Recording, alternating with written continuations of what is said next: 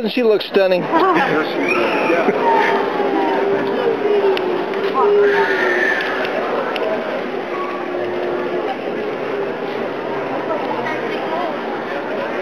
Oh. It rained like all day on. Oh my God. When you see her, don't you feel like you need sunglasses? It's a nice. It's a neon thing today, but that's okay. It's just so I can try stuff on over you. That's a really good idea. You know what? Yeah, my friend and I, we just come in this and then we don't have to run to the fitting room. That's a really good idea. I never yeah, thought of that. yeah. I like your hat. Thank you.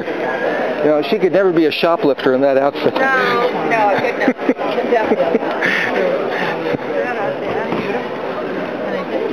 This is Connie Parenti. You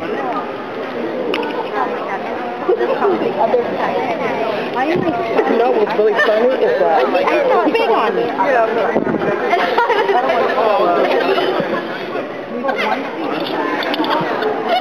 Thank you. Oh, great. Thank you. Not for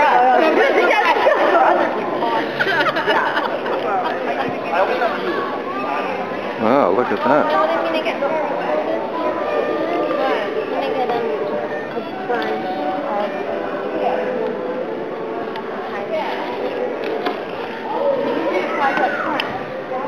Oh, here she is again. The good witch of the Vintage uh, Fashion Expo. Right. Well, this is pretty precarious here. Okay. Well, here, let me.